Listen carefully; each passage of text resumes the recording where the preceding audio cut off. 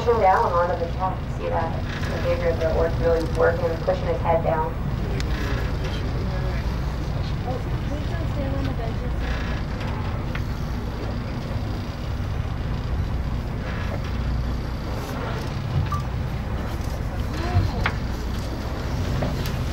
Always with this, or Not always. There have been uh, occasions where the mother is successful in, in getting her calf out of harm's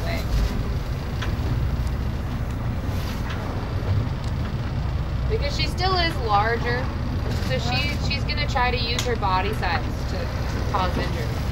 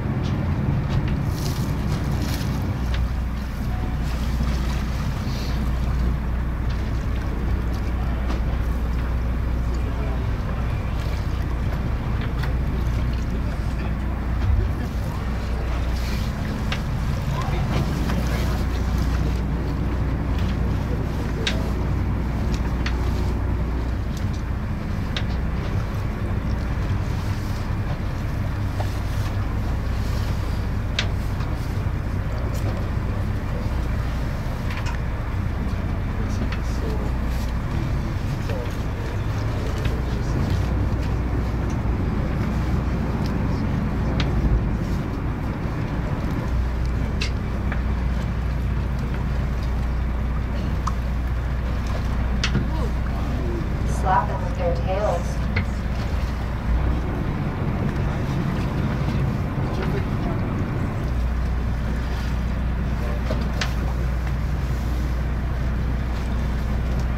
Big male coming in from behind.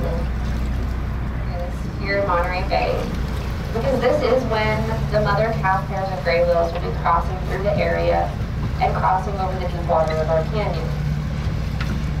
The gray whales are the most, and that's why they typically are going to hug the shoreline. They stick to the shallows and try to avoid ambush.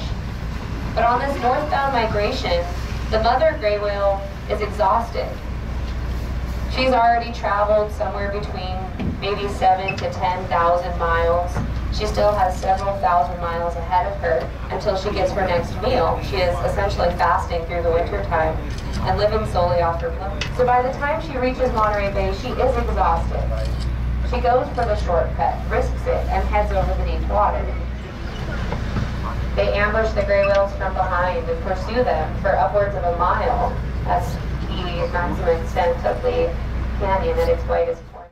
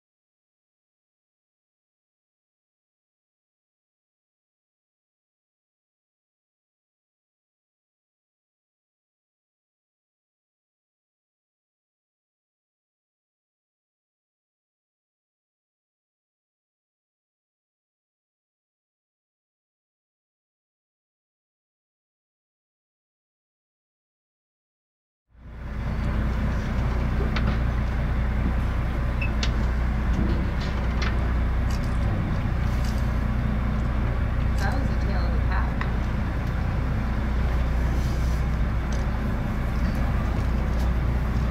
different languages. Ooh, that was the whale coming up with the mother's face.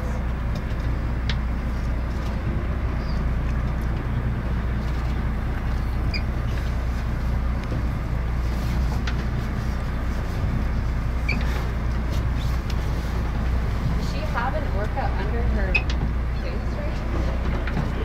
Yeah, yeah, she does. So one of the orcas is belly up right now. We're seeing the pectoral fins on the surface, those big round pectoral fins. And the mother gray whale is pushing on the stomach of that orca with her face.